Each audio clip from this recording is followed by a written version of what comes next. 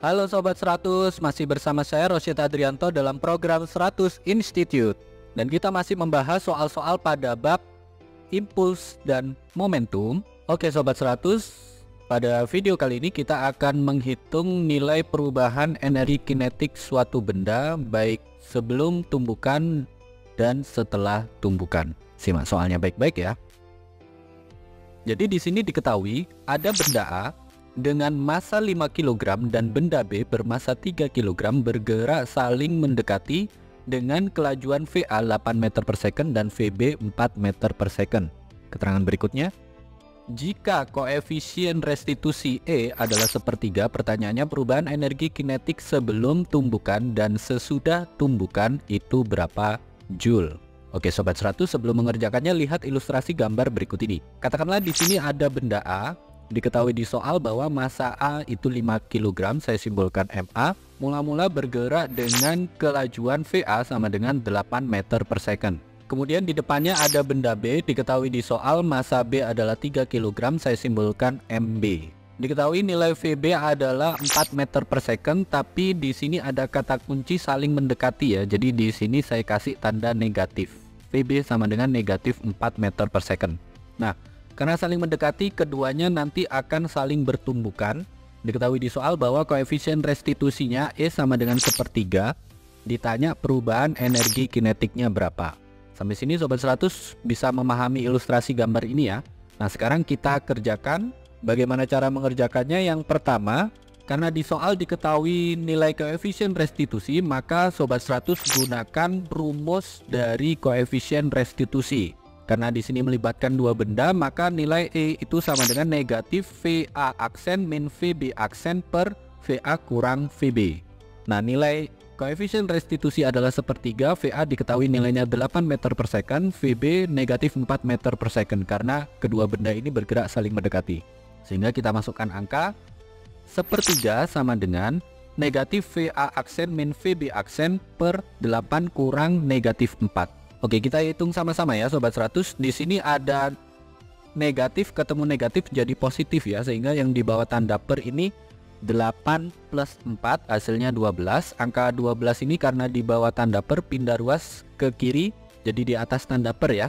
Jadi yang di kiri nanti pecahannya menjadi 12 per 3. Kemudian yang tanda negatif ini kalikan ke bentuk VA aksen min VB aksen sehingga yang di atas tanda per ini jadi VB aksen min VA aksen sehingga kita dapatkan di baris berikutnya 12 per 3 sama dengan VB aksen kurang VA aksen.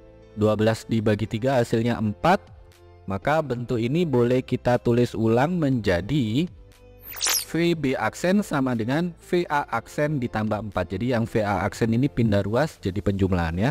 Oke sampai sini sobat 100 paham? Nah bentuk ini kita simpan dulu yang kedua sekarang kita tinjau hukum kekekalan momentum. Yang mana momentum sebelum tumbukan sama dengan momentum setelah tumbukan Ini rumusnya kita tulis lengkap ya. Jadi yang sebelum tumbukan momentumnya adalah MA kali VA tambah MB kali VB Yang setelah tumbukan MA kalikan VA aksen ditambah MB kalikan VB aksen. Oke kita masukkan angka. MA 5 kg VA 8 meter per second MB 3 kg VB negatif 4 meter per second VA aksen kita cari, VB aksen kita ganti dengan ini, VA aksen plus 4. Sehingga kita tuliskan di baris berikutnya 5 kali 8 ditambah 3 kali negatif 4 sama dengan 5 kali VA aksen ditambah 3 kalikan VA aksen plus 4 Kita hitung sama-sama ya Sobat 100 5 kali 8 hasilnya 40 3 kali negatif 4 hasilnya adalah negatif 12 Kemudian yang di ruas kanan ini kita hitung satu-satu ya.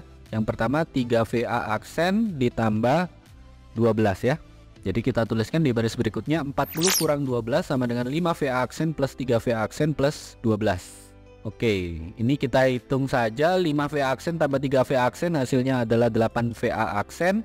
12 di ruas kanan pindah ruas ke kiri jadi pengurangan ya. Jadi yang di kiri 40 kurang 12 hasilnya adalah 28 28 kurang 12 hasilnya 16 ya.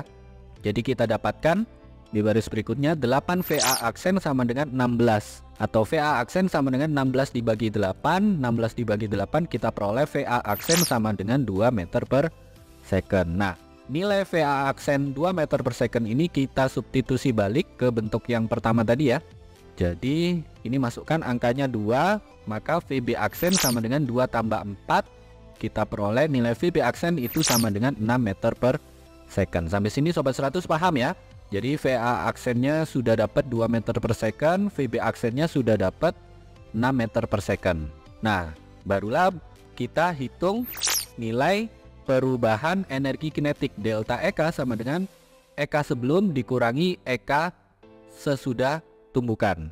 Nah, sebelum tumbukan ini kita tuliskan lengkap ya.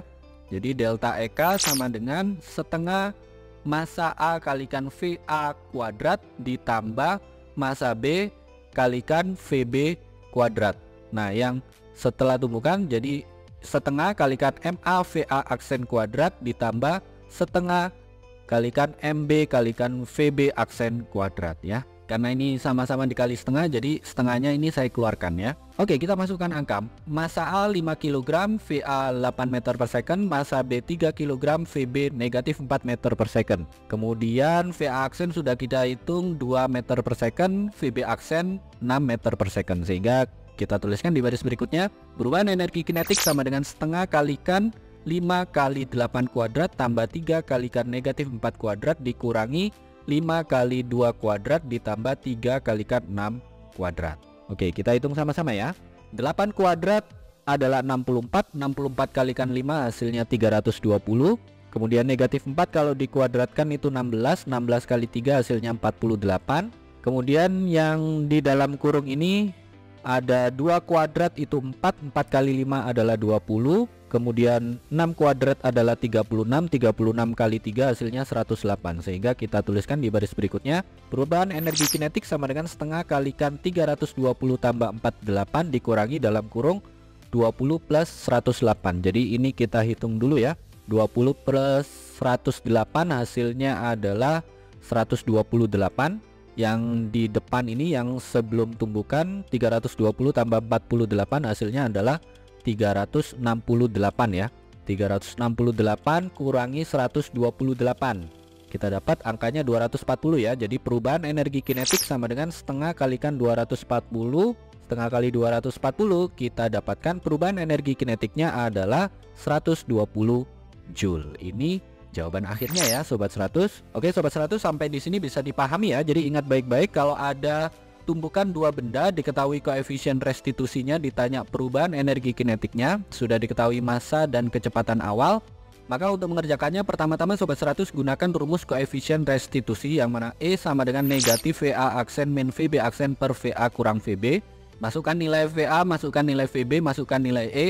Di sini sobat 100 lakukan penyelesaian nanti ketemu bentuk yang VB aksen sama dengan VA aksen plus 4 ini. Nah setelah dapatkan bentuk ini, yang kedua Sobat 100 gunakan hukum kekekalan momentum, yang mana momentum sebelum tumbukan sama dengan momentum setelah tumbukan, yang mana momentumnya di sini kita tuliskan lengkap. Jadi sebelum tumbukan adalah MA kali VA tambah MB kali VB, setelah tumbukan adalah MA kalikan VA aksen plus MB kalikan VB aksen. Sobat 100 masukkan angka, lakukan perhitungan, ketemu nilai VA aksen sekian meter per second. Nilai VA aksen ini substitusi balik ke bentuk VB aksen, nanti Sobat 100 akan dapatkan nilai VB aksen. Setelah Sobat 100 dapatkan nilai VA aksen dan VB aksen, Terakhir barulah bisa kita hitung perubahan energi kinetiknya ya.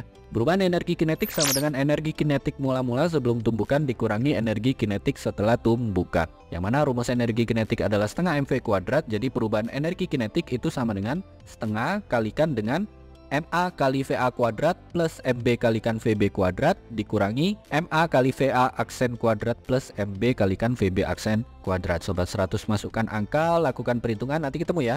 Perubahan energi kinetik itu adalah sekian Joule. Begitu ya sobat 100 sampai di sini bisa dipahami ya.